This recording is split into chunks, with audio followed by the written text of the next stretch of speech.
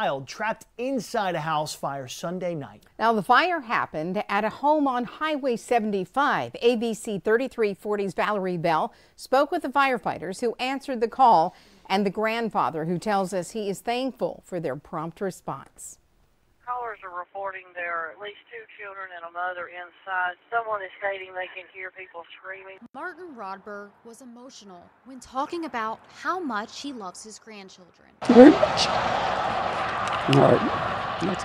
He drove there right away when he heard about the fire. Yeah, it's, it's not a pretty sight. It's, I don't wish this on anybody. So I'm just happy that everybody is well. The 911 call for the house fire came out around 9:20 Sunday night. Highway 75.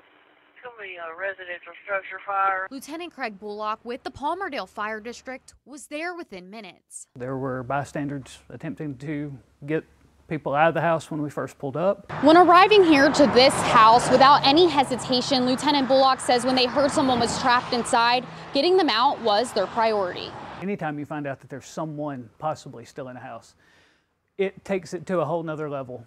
But when there are children still in the house, it does take it beyond that next level.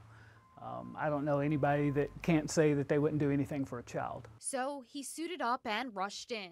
The child was sitting on the bed, back against the wall, facing out at me. And it was just like I said, it was one of those complete surreal moments of here he is, now let's go. let's get him out. Then firefighters worked on getting the fire out. Even though people lose property, uh, you, you can't replace a person, and that's what's most important in a situation like this. And that family is intact today because of efforts by people on my crew, and uh, I'm very proud of The firefighters say this is what they were trained to do.